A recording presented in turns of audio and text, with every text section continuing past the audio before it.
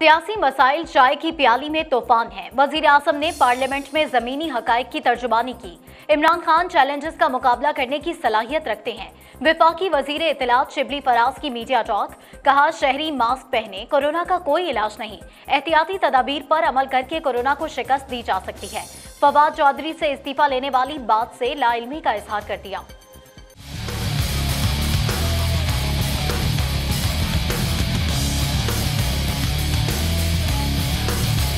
यही समझते हैं कि अवाम से भी रिक्वेस्ट करते हैं कि वो उन एहतियाती तदाबीर का भरपूर तरीके से उन पर अमल करें, क्योंकि इस वबा को अगर हमने शिकस्त देनी है तो वो एक ही तरीके से हम शिकस्त दे सकते हैं। और वो है कि जो एहतियात की तदाबीर बताई गई हैं, जिसमें कि ख़ास तौर पे मास्क पहनना है नहीं हालात बिल्कुल काबू में है। अभी आपने प्राइम मिनिस्टर साहब की तकरीर भी सुनी, जिसमें उन्होंने पूरे मुफसल तरीके से इस कौम की इस कौम के जो ज़मीनी हकाइक हैं उनकी तर्जुमानी की। हमें इस बात पर फ़ख्र होना चाहिए कि हमारे पास इस वक्त एक ऐसी लीडरशिप है जो कि इन सारे चैलेंजेस का बड़ी अ, अ, उसके साथ सख्ती के साथ मुकाबला कर सकती है और कर रही है। और बाकी जो पॉलिटिकल चीज़ें हैं वो आपको पता है वो तो चाय की प्याली में तूफ़ान है। नहीं जी मैं तो मुझे तो इसकी कोई खबर नहीं है और मेरा नहीं ख्याल है कि कोई ऐसी बात हुई है।